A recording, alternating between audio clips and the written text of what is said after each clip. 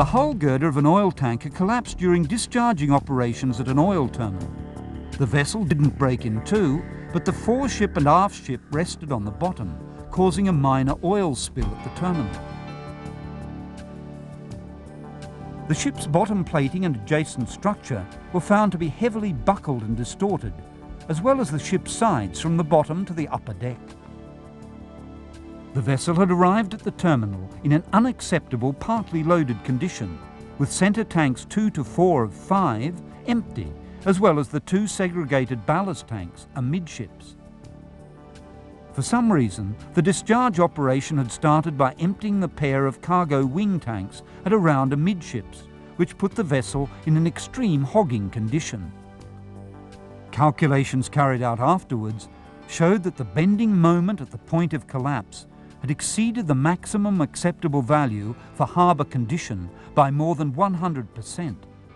The limit for harbour condition is approximately 40 to 50% above that of the seagoing condition.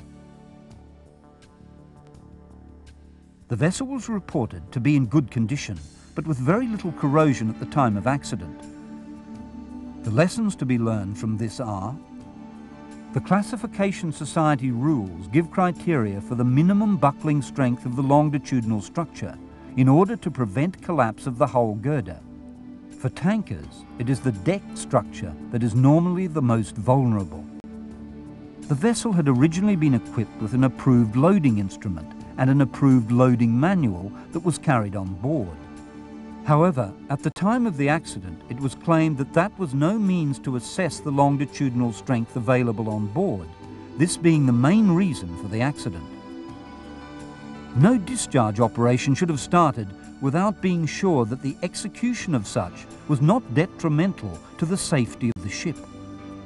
Moreover, in this case, to start the discharging operation by emptying tanks around amidships does not make much sense. Where no means of assessment of longitudinal strength is possible, no discharge operation is to be started.